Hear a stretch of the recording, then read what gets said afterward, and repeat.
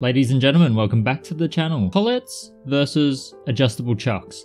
This has been a topic that has really sparked a lot of questions in the last couple of weeks. I have no idea why it's just come out of the blue, but I've got emails, comments on videos, contacts on Messenger, on Facebook, everywhere. So I just want to do one video where I can just put this to bed and then I can simply just send this through to everybody. And if you don't know the differences or you want to know some more details about them, stick around and we'll go through as much as I can think of to really cover this topic. So, in essence, what do these things do? In both cases, all that's happening is that something here, there's three little jaws, are clamping around a shank or a spindle. We'll focus on the rotary tools and Dremel kind of stuff because that's the small scale we're working with. So in both cases, there's something squeezing around something. Pretty simple, but there are huge differences as well, and that's where the pros and cons come in, and you've just got to choose the right one for you. So first up, the grip. The gripping mechanism between these two are actually quite different.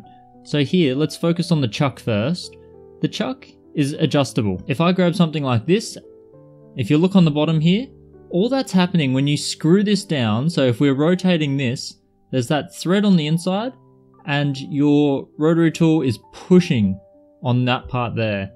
And if you look at the other side, when I push on the bottom, look at that, it closes up and starts pinching. For smaller shanks, you just squeeze it in even further than you do for the larger ones, which just means you're screwing it in further. For an adjustable chuck, mega simple and basically it's got three jaws. Between these jaws and the gaps you can't really see it, but there are little springs. There are little springs in these little gaps here. If I push down on one of these you can see I can bring it in and it springs straight back. So that's what's forcing it to go along the outer wall. Now, for a collet, you can see on its own, pretty useless. What you've got here is a nut. This is a very well worn one, but in essence, the collet is going inside there, and when you're screwing it in, you're pushing and look at that, it closes up. Fairly similar, right?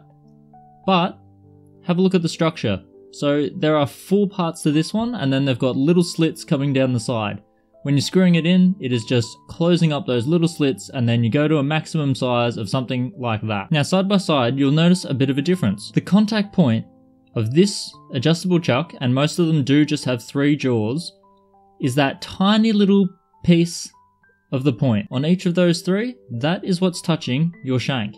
In the case of a collet though, have a look at this. You've got four, and you're not touching on a point, you're touching on a curved surface. So you've got to make sure that the size is the correct size. You can't go with this one and shove this in there and just screw it down as tight as you can. It's just not going to fit. It's going to slip around.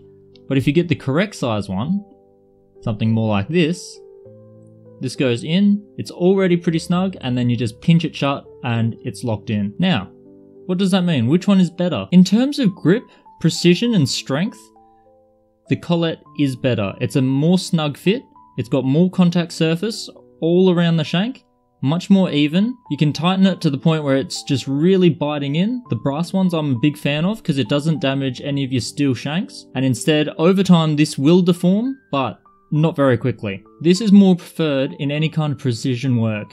So if you're looking at a lot of CNC machines, you'll notice that a lot of them do just have collets that are perfectly sized for their tool if they're doing precise work, and if they're not doing precise work and they're changing tools a lot, you'll see a chuck. The benefit of this is that the wobble is also completely gone. I've made an entire video on it. It's so important when it comes to precision work that this does not wobble around because it's got all of that contact between the collet and the shank You've got no option for it to wobble. Whereas with these little jaws, they can become misaligned, especially because those springs can get old and they can seize up and they can corrode. And what can happen is this can start slipping around. And if you don't clamp it in properly, it'll just have a little bit of a wobble in the top here like this.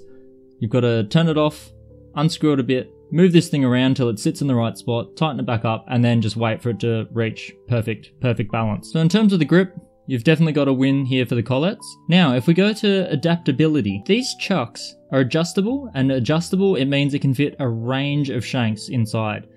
Now, with collets, what you've got are kits like this. So this is a five piece kit, It's got a bunch of different size collets for different size shanks. They all fit the one Dremel piece with the uh, nut as well, so this one comes with a nut. I haven't broken a nut before, so you can keep using your old one. They just lose their paint over time. So if I want to change between two very common sizes, you can see here, these are the two most common sizes that I use. So this larger one here, this is a 3.2 millimeter or 1 8 inch shank. Whereas here on this Nova Point, what you're looking at is a 3 32nds inch or a 2.38-ish millimeter shank. And at times I'm switching backwards and forwards between these. Less so now, I typically use this shank for everything. But there was a time when I was using electroplated burrs and they were in this size shank. It's very common. In fact, most rotary tools come with this one mounted on it straight away, this larger shank. If you want to change between these two, every time you want to swap over, you've got to take your nut off your tool and select the right collet. So this one, take it off again, chuck this one in instead, screw it back on. It becomes quite tedious. With the chuck, you eliminate that completely. All you're doing is screwing in less far for one and then further in for the other. You've got all of that play to be able to fit whatever shank you want in there, up until its maximum size, which is its fully retracted size just here. Well and truly enough for any kind of shank to fit through. So if you put those head to head, the adjustable chuck does win. Now, lifespan. Like I said, these have that tiny little spring. You can see it just there. It's reflecting the light. That tiny little spring, one, two, three of them between each of the jaws. The jaws, they last pretty much forever because they're stainless. The outer housing lasts pretty much forever. It's got no problems. Those springs are the Achilles heels for these for these types of chucks. Now you can extend the life by spraying something like a WD-40 or something similar. That'll protect it from getting in contact with water, but eventually, after opening and closing this so many times, that will break, it will die, you'll need to replace it. I buy bags of these things because I do go through them every few months. Now, the collets.